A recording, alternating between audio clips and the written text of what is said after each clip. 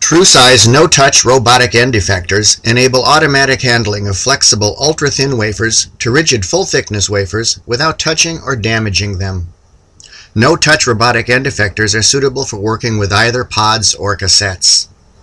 Because of their small height, no-touch end effectors can pick or place wafers in a cassette from the top slot, slot 25, and from every slot in top-down fashion. Wafers are inserted into cassettes bottom up. Shown here is the pick and placing of 125 micron wafers. Sensors allow for the detection of wafers in a slot as well as cross-slotted wafers.